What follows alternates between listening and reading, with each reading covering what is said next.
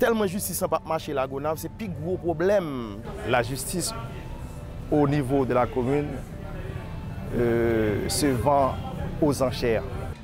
Les, justiciables, les plaignants vont au tribunal, ils ne trouvent pas de juge. Et comme si justice là n'a pas existé la Gonave. La population est abandonnée à elle-même.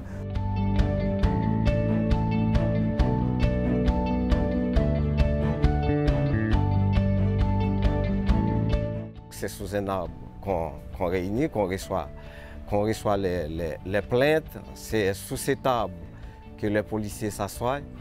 Donc, il nous faut espace de bureau pour pouvoir effectuer notre travail. Les problèmes prioritaires restent la construction du commissariat.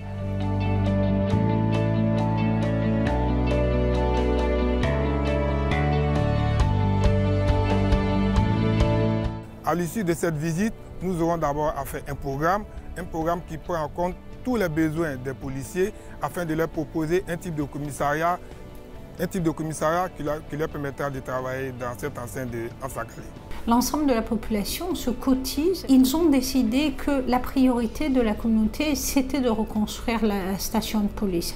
Je crois que si nous, les Nations Unies et la Minute Juste, on peut les aider à aussi remplir euh, cette fonction-là et de pouvoir les aider à avoir une station de police qui est fonctionnelle. Je crois que c'est déjà le minimum et c'est le premier pas vers un accès à la justice pour l'ensemble des gens là-bas.